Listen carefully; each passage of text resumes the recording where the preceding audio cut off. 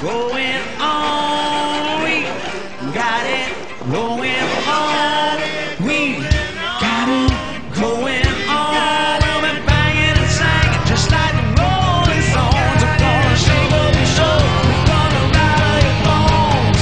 We Hey there guys, what's going on? It's Chris here with Creepy Crawl RC here on YouTube.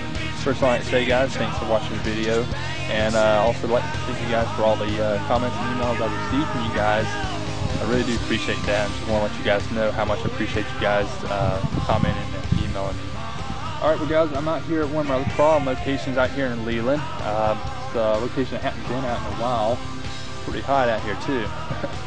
But uh, yeah, guys can see it's pretty much a lot of dirt hills and little cabins and stuff like that, and just trails and stuff like that. It's a pretty cool area to, to do some crawling at.